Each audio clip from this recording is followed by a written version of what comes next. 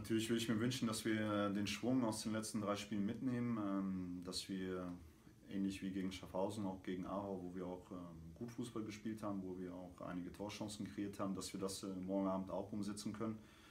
Wichtig wird in meinen Augen sein, dass wir die Kontrolle über Spiel relativ schnell erlangen, dass wir bestimmen, was passiert auf dem Platz, dass wir äh, zu Abschlüssen kommen, Standardsituationen kommen, weil ich denke, dass wir da einen Vorteil auf unserer Seite haben.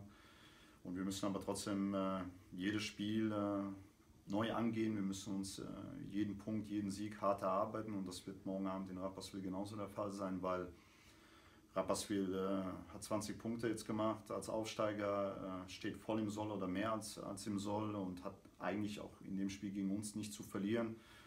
Haben eine sehr, sehr junge, freche Mannschaft, die sich äh, von Spiel zu Spiel beweisen will fürs Team, aber auch persönlich und äh, von daher haben sie nicht zu verlieren. Der Druck liegt auch morgen Abend mehr auf unserer Seite und ich hoffe, dass wir damit jetzt auch nach den drei Siegen gut umgehen können und ähm, ja, ein ähnliches Niveau abliefern können wie eben in den letzten Spielen.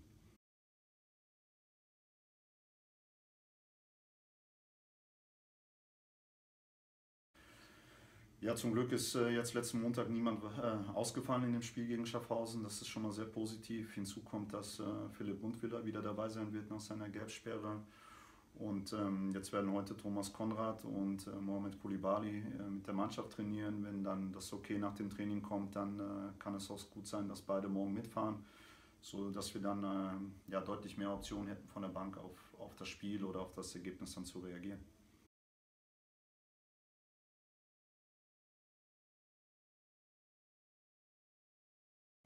Ja, es ist äh, natürlich super, immer wenn man gönnt nach einem Spiel Jetzt dreimal im Folge ist natürlich noch besser. Es ist eine super Stimmung immer in der Kabine, also viel besser als am Anfang der Saison oder in der Mitte der Saison. Und ähm, ja, man geht auch ganz anders auf den Platz, wenn man weiß, man hat dreimal hintereinander gewonnen.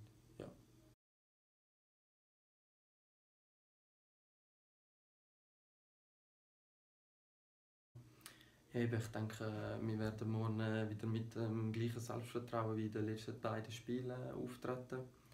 Heisst, wir werden äh, sicher auch, es wird sicher auch ein, ein Kampfspiel, weil wir wissen, die sind daheim stark. Die haben daheim jetzt äh, fünf Spiele äh, in Serie nicht verloren und äh, die letzten drei Spiele auch nicht verloren. Und äh, von dem her wissen wir, dass eine gute Mannschaft dort äh, auf uns wartet, aber äh, nichtsdestotrotz wissen wir, dass wir auch kicken können und ich denke, das werden wir morgen auf den Platz bringen.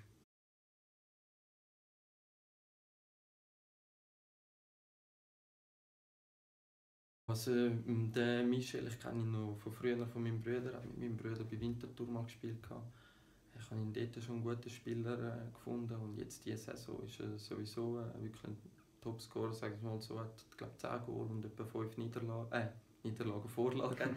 und äh, ja, wir wissen, dass wir sicher auf die aufpassen und auch äh, sie haben äh, schnelle Flügel.